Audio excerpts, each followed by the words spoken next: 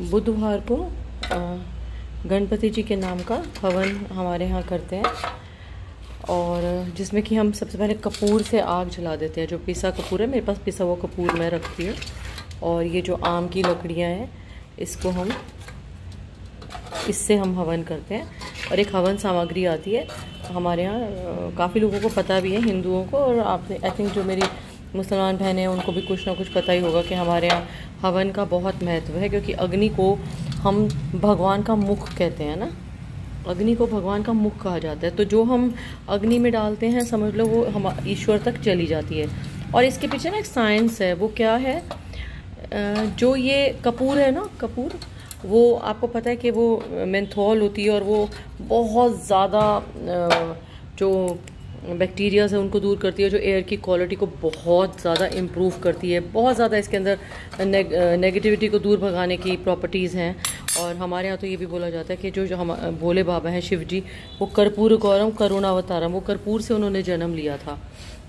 और कपूर बहुत ज़्यादा इन्फ्लेमेबल होती है ना इससे बहुत ज़्यादा तुरंत आग पकड़ती है। तो हम हवन शुरू करने के लिए कर्पूर से ही करते हैं ताकि बाकी सब जो आम की लकड़ियाँ हैं वो भी आग पकड़ लें।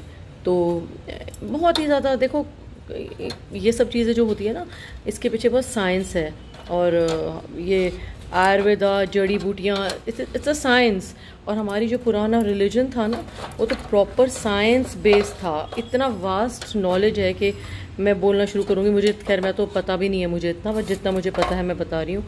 मैं इसलिए करती हूँ क्योंकि मुझे इसकी, इससे बहुत ज़्यादा पॉजिटिविटी आती है, बहुत ही ज़्यादा। और इस बहाने कुछ मंत्रों का उच्चारण हो जाता है। मंत्र क्या होते हैं? मंत्र हमारी वाइब्रेशंस होती हैं और हम मंत्र जब बोलते हैं तो यूनिवर्स में स्काई में हमारी वाइब्रेशन जो है वो अच्छी हो जाती हैं और यूनिवर्स की वाइब्रेशन में जाके मिल जाती हैं। तो ये सब चीज़ें positivity at the end of the day ये सब चीज़ें पॉजिटिविटी ही स्प्रेड uh, करती हैं। और मैं आपको बताऊँ कोई कहते हैं ना, पूजा, भक्ति, मंत्र बोलना, सबको पता है। इन सब चीज़ों से भगवान कर्म कर्म प्रधान है ना। हमारा रिलीजन जो है Hinduism it's based on karmas कि कर्म ही धर्म है। ठीक है ना? हमारा कर्मा ही हमारा धर्म है। लेकिन जो ये सब चीज़ें होती है ना पवन करना भी तो एक कर्म ही है ना। हम एफर्ट लेते हैं, हम सामान लाते हैं, हम उसको हम जैसे बैठते हैं मंत्र उच्चारण करते हैं तो ये सब चीज़ें हमारी माइंड को बहुत ज़्यादा खुश करती हैं क्योंकि जब हम ये सब चीज़ करते हैं कुछ अच्छा करते हैं तो हमारी जो माइंड है वो सेरेटोनिन रिलीज़ करता है। सेरेटोनिन क्या करता है? इट्स कॉल्ड हैप्पी हार्मोन हमारे अंदर एक पॉजिटिविटी आ, जा, आ जाती है और एक हमारी आत्मशक्ति जैसे क्या कहते हैं? सेल्फ कॉन्फिडेंस वो बढ़ता है इन सब चीज़ों से ना? प्रेयर से हमारा सेल्फ कॉन्फिडेंस बढ़ता है। तो ज़रूरी नहीं है प्रेयर करना प्रेयर कर, करना कुछ लोग समझते हैं कि इससे क्या हो जाता है कर्म करो। ऑफ़ कोर्स सब कर्म प्रधान है हमारा। हर किसी का रिलीजन ये कहता है कि कर्मा जो है वो रियल धर्म है बट एट टाइम्स जो ये पूजा करना है ये भी तो एक कर्मा ही है ना? और इसको जब हम करते हैं अभी जैसे मैंने कर्पूर से चलाया मैंने आम की लकड़ियाँ यूज़ की अब मैं ऐसी सुपारी तो नहीं खैर नहीं जलती एक इसमें ना सुपारियाँ भी डलती हैं जो कटी हुई सुपारियाँ हैं हम वो भी डालते हैं। आ, कोई भी चीज़ें। तो इनके पीछे बहुत बड़ी साइंस है कि ये जो हर्ब्स हैं इसमें कई तरह की चीज़ें मिलती हैं हवन सामग्री में।